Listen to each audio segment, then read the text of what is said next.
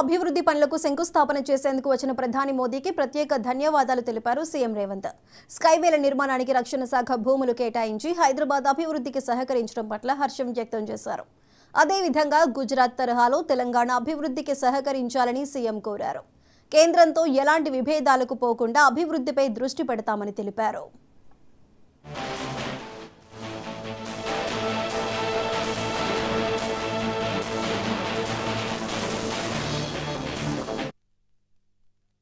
ప్రభుత్వాల మధ్యలో ఘర్షణ వాతావరణం వస్తే అంతిమంగా అది ప్రజలకే నష్టం జరుగుతుంది. రాజకీయాలు ఎన్నికల సమయంలోనే ఎన్నికలు ముగిసిన తర్వాత విఘ్నులైన ఎన్నికైన ప్రజాప్రతినిధులు కేంద్ర సహకారంతో రాష్ట్రం యొక్క అభివృద్ధి కోసం కృషి చేయాలి తప్ప పదే పదే కేంద్ర ప్రభుత్వంతో ఘర్షణాత్మకమైన వైఖరి తీసుకుంటే రాష్ట్ర ప్రభుత్వం యొక్క రాష్ట్రం అభివృద్ధిలో వెనుకబడుతుంది. ఈ అంశాలని పరిగణలోకి తీసుకొని మా ప్రభుత్వం ఏర్పడిన వెంబడే ప్రధానమంత్రి గారు సమయం తీసుకొని రాష్ట్రంలో రెండు వేల పద్నాలుగు పునర్విభజన చట్టంలో పొందుపరిచిన అంశాలనే కాకుండా రాష్ట్ర అభివృద్ధికి సంబంధించిన చాలా విషయాలు ప్రధానమంత్రి గారి దృష్టికి తీసుకెళ్ళినాము.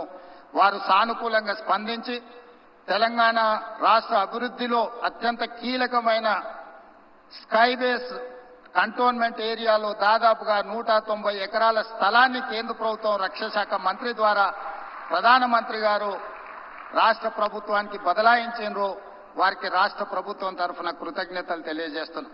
అదేవిధంగా పీయూష్ గోయల్ మంత్రి గారికి కూడా మేము రిప్రజెంట్ చేస్తే టెక్స్టైల్ యూనివర్సిటీని కూడా టెక్స్టైల్ కాలేజ్ను కూడా ప్రారంభించుకోవడానికి ప్రత్యేకమైన అనుమతులు ఇచ్చిండ్రు. ప్రధానమంత్రి గారికి ఆ విషయంలో కూడా రాష్ట్ర ప్రభుత్వం తరఫున మేము కృతజ్ఞతలు తెలియజేస్తున్నాం. మా వైపు నుంచి ఎలాంటి భేషజాలు లేకుండా రాజ్యాంగబద్ధ సంస్థలు గవర్నర్ వ్యవస్థ కానీ జ్యుడిషియల్ వ్యవస్థ కానీ ప్రజల చేత ఎన్నుకోబడ్డ కేంద్ర ప్రభుత్వంతో ఇలాంటి ఘర్షణాత్మకమైన వైఖరిని మేము తీసుకోము. రాష్ట్ర అభివృద్ధిలో వాళ్ళను సంప్రదించి రాష్ట్రాన్ని ముందుకు తీసుకెళ్ళడానికి అవసరమైన కార్యాచరణతోనే ముందుకు వెళ్తాము అని చెప్పి ఈ సందర్భంగా మీకు అందరికి తెలియజేస్తున్నా.